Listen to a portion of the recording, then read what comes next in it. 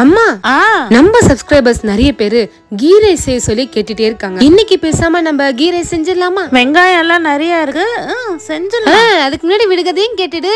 ஆ நோயும் இல்லை நொடியும் இல்லை. ஆனாலும் நாளெல்லாம் மெழுகிறான் யார் அவன் யார் அவன் எப்படினாலும் ஆன்சர் கமெண்ட்ல தானே பார்க்கணும். ஆமாம் நம்முடைய கரெக்ட் ஆன்சர் கமெண்ட் செக்ஷன்ல பின் பண்ணப்படும். சரி நான் முந்திரி வடிச்சு தரேன். செஞ்சிடலாம்.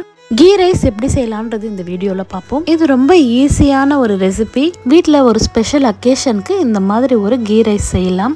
ரொம்ப டயர்டாக ஃபீல் பண்ணும்போது ஈஸியாக இந்த மாதிரி ஒரு ரெசிபி செஞ்சிடலாம். இதுக்கு முதல்ல இஞ்சி பூண்டு மிக்ஸி ஜாரில் அரைச்சிக்கலாம். இஞ்சியும் பூண்டும் சேம் குவான்டிட்டியில் எடுத்து அரைச்சி எடுத்து வச்சுக்கணும். ஹோல் ஸ்பைசஸ் இங்கே காமிக்கிற வீடியோவில் காமிச்சிருக்கிறது எல்லாத்தையும் எடுத்து வச்சுக்குவோம். நெய் வந்து ஒரு ஹாஃப் கப் எடுத்து வச்சுக்கலாம். புதினா வந்து க்ளீன் பண்ணி எடுத்து வச்சுக்கலாம். கொத்தமல்லி க்ளீன் பண்ணி எடுத்து வச்சுக்கலாம். முந்திரி உடைச்சு வச்சுக்கலாம். வெங்காயம் இந்த மாதிரி நீல வாக்குல கட் பண்ணி வச்சுக்கலாம். பச்சை மிளகாய் ஒரு ஆறு கிண்டி வச்சுக்கணும். பாஸ்மதி அரிசி கழுவி ஊற வச்சாச்சு. தண்ணி வந்து ஒன்றுக்கு ஒன்னே முக்கா தண்ணி நான் எடுத்து வச்சிருக்கிறேன். அடிகனமான பாத்திரத்துல நம்ம இந்த மாதிரி வந்து நெய்யை விட்டுட்டு முந்திரிய முதல்ல வறுத்து எடுத்து வச்சுக்கலாம். முந்திரி வறுத்து எடுத்து வச்சுட்டு லாஸ்ட்ல போட்டோம்னா ரொம்ப கிரன்ச்சியா இருக்கும். அதனால நான் எடுத்து வச்சிடுறேன். சில பேர் வந்து அப்படியே போட்டுருவாங்க. இப்போ நம்ம ஓல் ஸ்பைசஸ் எடுத்து வச்சது எல்லாமே சேர்த்துக்கலாம். இதுல பட்டை லவங்கம் ஏலக்காய் சோம்பு ஜாபத்ரி எல்லாம் சேர்த்துருக்கோம். இப்போ பச்சை மிளகாய் வந்து ஒரு அஞ்சுலேருந்து ஆறு கீண்டி போட்டுக்கலாம். அதோட வெங்காயமும் சேர்த்து நல்லா வதக்கிடலாம். வெங்காயம் கொஞ்சம் நல்லா வந்து ஒரு இந்த ப்ரௌனிஷ் கலர் வரட்டும். அது வெறும் நல்லா வதக்கணும். இப்போ கொஞ்சம் வதங்கிடுச்சு. இப்போ நம்ம இஞ்சி பூண்டு சேர்த்துருக்கலாம். இஞ்சி பூண்டும் சேர்த்து நல்லா பச்சை வாசனை போகிற வரையிலும் வதக்கிட்டு அதுக்கப்புறம் உப்பு சேர்த்துக்கணும்.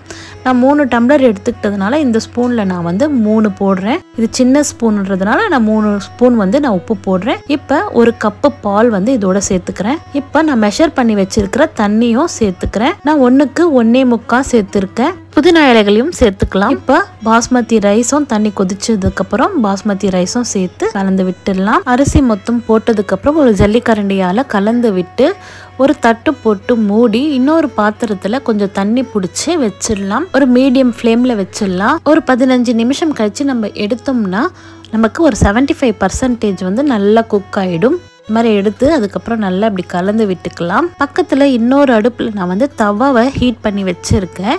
இப்போ அதில் வந்து நம்ம தம் போட போகிறோம் ஸோ நல்லா கலந்து விட்டுட்டு நம்ம தம் போட்டுடலாம். இப்போ நல்லா கலந்து விட்டதுக்கப்புறம் ஜல்லிக்கரண்டியால் எல்லாம் ஒன்று சேர்த்துடலாம். ஒன்று சேர்த்துட்டு இப்போ நல்லா பாருங்கள் 75% ஃபைவ் பர்சன்டேஜ் நல்லா குக் ஆகிடுச்சு இப்போ எல்லாத்தையும் வந்து ஒன்று சேர்த்துட்டு நம்ம தம் போட்டுடலாம். இப்போ தட்டு போட்டு மூடி இந்த தவால ஹீட் ஆகிட்டு இருக்க தவால மேலே இது வச்சுட்டு இந்த பாத்திரத்தை அப்படியே தூக்கிட்டு போய் வச்சுட்டு கொத்தமல்லியை தூவி இப்போ தட்டு போட்டு மூடி இதுக்கு மேலே அந்த தண்ணி பிடிச்ச பாத்திரத்தையும் வச்சிடலாம். இப்போ பாருங்கள் ஒரு பதினஞ்சு நிமிஷம் கழித்து நம்ம எடுத்தோம்னா நமக்கு வந்து கீ ரைஸ் வந்து ரெடி ஆகிடும் இப்போ நம்ம முந்திரியை தூவி நம்ம கலக்கி விட்டுக்கலாம். நான் எடுத்து காமிக்கிறேன். பாருங்கள் எப்படி பல பல பலன்னு நல்லா வெந்து வந்திருக்கு கீ ரைஸு. இது வெறும்னே அப்படியே சாப்பிட்லாம். வெஜிடபிள் குருமா இல்லைன்னா வந்து பக்கோடா குருமா ஏதாவது ஒரு கிரேவியோடையும் சேர்த்து சாப்பிட்லாம். டொமேட்டோ சாஸோட கூட சேர்த்து சாப்பிட்லாம். ரொம்ப நல்லா இருக்கும். ஆவி பறக்க கீ ரைஸ் பாருங்கள் ரெடி ஆயிடுச்சு. இது போல் ஒரு கீ ரைஸ் நீங்களும் செஞ்சு பாருங்கள் ரீத்துஸ் கிச்சனை லைக் பண்ணுங்கள் ஷேர் பண்ணுங்கள் சப்ஸ்கிரைப் பண்ணுங்கள் பிரீத்தி இந்த கீ ரைஸ் சாப்பிட்டு பாரு எப்படி இருக்குன்னு சொல்லு. சூப்பர் இந்தாம்மா நீயும் சாப்பிட்டு பாரு. ம்